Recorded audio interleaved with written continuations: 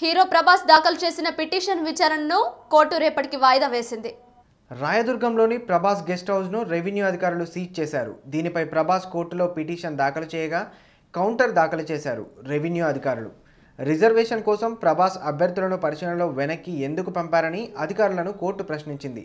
కాగా పూర్తి వివరాలను రేపు కోర్టు ముందు ఉంచుతామన్నారు న్యాయవాది.